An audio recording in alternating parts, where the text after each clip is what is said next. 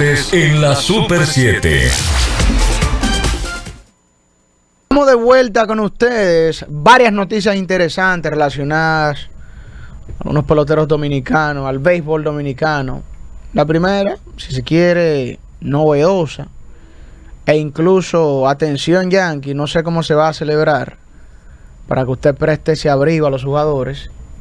Noviembre, del 10 al 12, el City Field de la ciudad de Nueva York será el estadio que acoja esta miniserie entre las Águilas Ibaeñas y los Tigres del Licey. Eso está confirmado. Ahora bien, noviembre del 10 al 12. Hay que ver, hay que ver bien el weather. Yo Porque ¿sabe qué es lo que pasa, Misael? El Mm, tema, lo que, su- noviembre. lo que aquí sucede es porque el béisbol no se juega en invierno porque Espera. es materialmente imposible. que lo que aquí sucede, ¿sabe qué es lo que sucede aquí? Son, dos, son varias cosas. Noviembre 10. Una es a ver, porque está bien, tú lo confirmas, pero ¿y si está nevando ese día? Porque a ver, No, eh, hay que tener claro. plan B obligado. Final del otoño, prácticamente inicio de. No, no, es que ya el clima, eh, es si el clima permite. Exacto. Pero ojalá que se dé el evento. No, no, yo. Ojalá que el evento se lleve a cabo, que es lo que uno quiere finalmente, y que la comunidad dominicana en Nueva York, de hecho esos que están indocumentados, que puedan ver un partido de Licey Águila que tienen 10, 5 años que no vienen al país, puedan tener en ese momento la oportunidad de ver a los equipos de sus amores. Debe ser una asistencia, una asistencia extraordinaria. Eh, la novedad se va a robar. Hay metro que pasa por el frente No, del no, estadio. no hay- yo creo que o sea, eh, va a haber gente de todos lados. Exacto. Son dos eh, del día al 2, o sea que yo creo que puede ser algo eh, de impacto. Lo único que yo pon- pongo, y bueno, y por razones obvias, en entredicho es el tema del clima al momento del evento. O sea, del día al 12, eh, eso hay que ponerlo entre comillas. Montilla, llega una noticia que es un periódico de ayer, ya desde que la semana pasada nos llegaba la información relacionada al prospecto dominicano Jason Domínguez Marciano, uno sabía que esto iba a terminar en un atomillón confirmado por el dirigente de los Yankees, Sí. Aaron Boone. El tema de esta atomillón no se aclaró de, de manera precisa en qué momento ocurrió la lesión, pero eh, repito, la confirmación será sometido a una cirugía atomillón, lo que le va a marginar de los entrenamientos, inicio de la temporada y gran parte de la misma. Me refiero a la 2024. Se habla de 10 meses, 10 a 12 meses, un año entero. Sí. No una temporada de béisbol, un año. 10 a 12 meses, un año. Y esta, esta lesión tiene la siguiente implicación, que era lo que yo le decía a la gente con relación a Bryce Harper. Ah, que volvió rápido. Harper volvió rápido a jugar primera base. Fíjese, no es jardinero, primero. Segundo, que debería ser lo primero, muchísimos juegos como bateador resignado. Tercero, fíjense el inicio que tuvo lentísimo, duró un mes sin conectar un cuadrangular. ¿Por qué? Cuando usted está operado y del codo, usted no puede hacer trabajo físico de cara a la preparación para una temporada. No puede.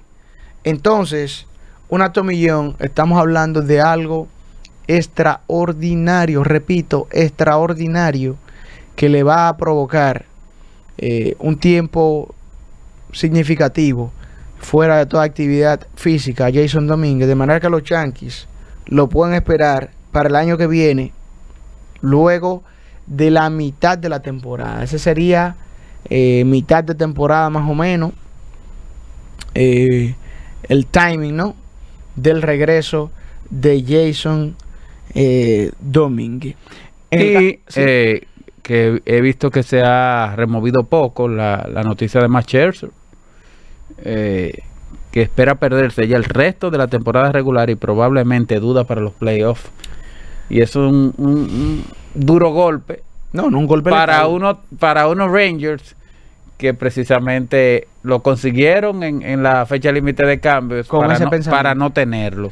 Eh, Churchill es un lanzador ya de una edad avanzada, prácticamente 40 años.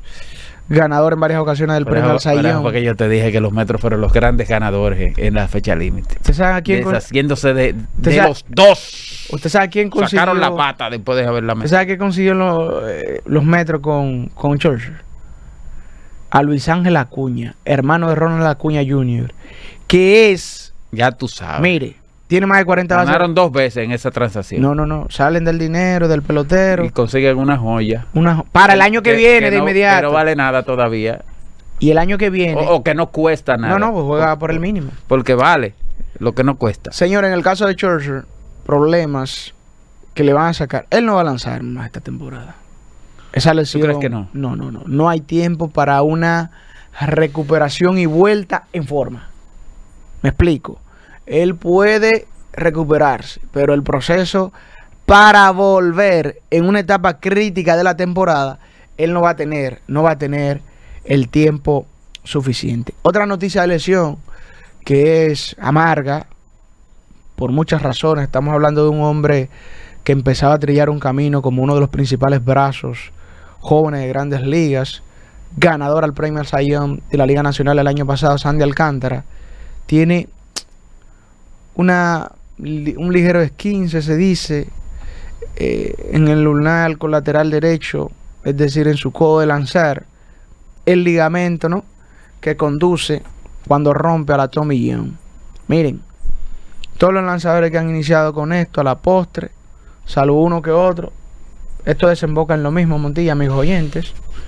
Eh, en una John, uno no quiere ser ave de mal agüero, pero lamentablemente para el nuestro, Sandy Alcántara, va a ser una situación complicada. Desde el año pasado, eh, bueno, no el año pasado, en el Clásico Mundial, usted recordará que él no lució del todo bien. Él dio muestras de que algo faltaba. Inicia la temporada y rápido él va a la lista de lesionados. Se dice, no, que tiene problemas en el bíceps, eh, una cosa que la otra. Y digo, bueno, eso es un tanto delicado. Y ya hoy eh, nos topamos, ¿no? Con esta, con esta noticia. Antes de la pausa, brevísimo, la noticia que protagoniza el día de hoy a nivel de béisbol. Señores, Boston, los Mediarroas de Boston, remenearon la mata. Shane Bloom, jefe de operaciones de béisbol, Montilla, ha sido puesto en la calle. Bueno. Literalmente. Un Eh. hombre que llegó como gran genio. Repito, hoy, 14 de septiembre, despedido por su organización Los Mediarroas. Bueno, no es Boston que no han dado pie con bola, si bien es cierto que su ofensiva sigue siendo una fuerza, pero en grandes ligas hay que sacar a otro. Eso es así. ¿Han notado cómo el ánimo del día puede cambiar cuando, com- cuando cambiar completamente cuando comes algo bueno, algo delicioso? Con caserío, cualquier día de la semana se vuelve más sabroso. Súbele el sabor a tus días con caserío. Atención ya que vamos a hacer una pausa brevísima luego de la misma.